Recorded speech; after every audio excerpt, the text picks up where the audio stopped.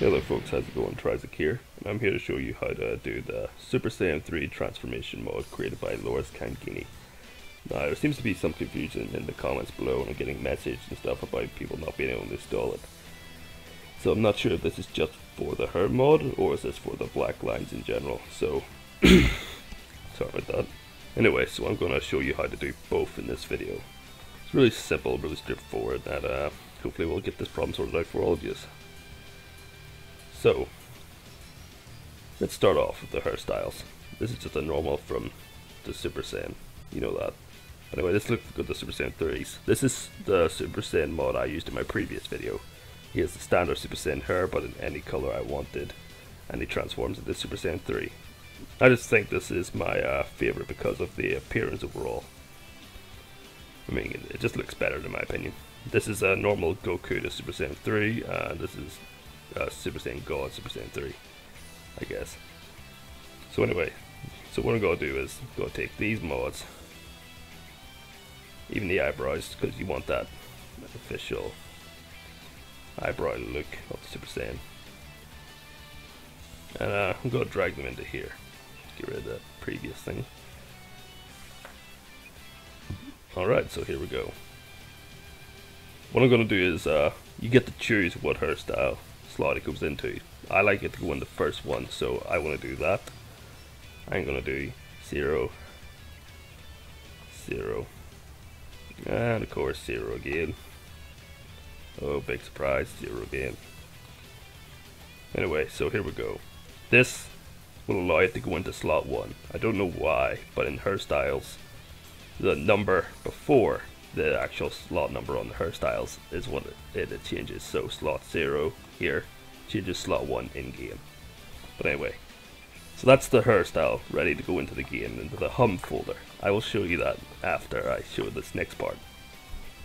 Anyway, so to get rid of the black lines, that will allow um, people to actually play.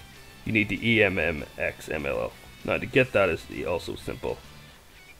In here, in here, see, libs universe master bin, and there it is, right there. You can drag this anywhere you want, it'll still work. So I dragged into its own folder for the purposes of showing you people how to do it. So, here's the tool I need, and here's the file I need. EMM files, they are the ones that you change. Now, to do this, practically, you will need Notepad++. That is a free application you can download online. No problems there. I've done it, I use it, and it is great. So, you open up your EMM file with the edit Notepad++. And I've already done that. Oh, it's sorry. That's that was my bad. Whoops. Sorry. Drag it into the EMM XML file first and then it will create an XML document of an EMM. This is what you need. You open this part with the Notepad++. And here we go. These are all just uh, previous files I used. So you can open more than one file up in here like this. So if I had more than one XML document, I just open them all at once. Now to see the thing is, to do this, you can use a batch to, uh, like a not batch, uh, sorry, a command tool using CMD command console, and then you can do all this at all the mods at once. However, I did not know how to do that. I'm afraid Loris Cangini can do that. He has a tutorial on his, but this is just for people who don't understand that. You see, you'll have to drag the EMM file one by one into uh, this here application to create the, the XML document. So even if I was to take, say, one of the eyebrows, either of their EMM files, I would also need to drag that in separately.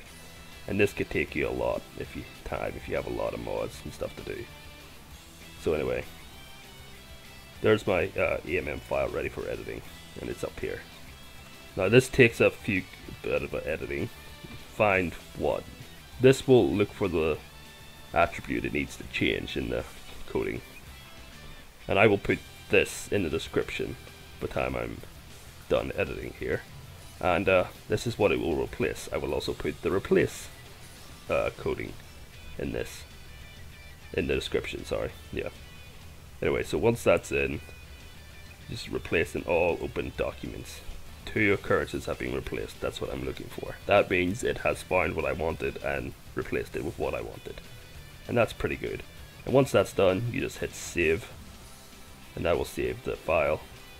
Then you just redrag this into the EMM XML. This will repack it into an EMM. And as you can see, it is 10 to 4 in the afternoon nearly for me, and it is updated to that time, which shows you the file you have updated. So, with that all done, we are ready to install the mod for the her. Anyway, hum.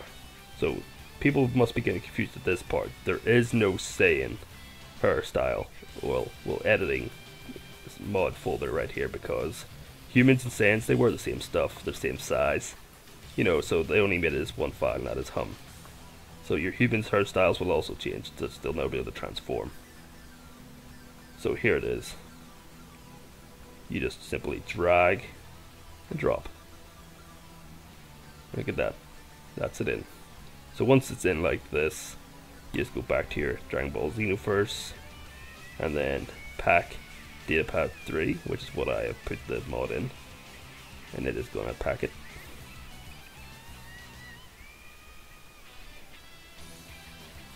And there we go, that is packed. And now, well, that's it, pretty much the mod complete. I mean, you just need to repeat the same process with whatever eyebrow slot you want, you know, find which eyes you like, then replace those ones. Simple enough. And then with that done, just run the game.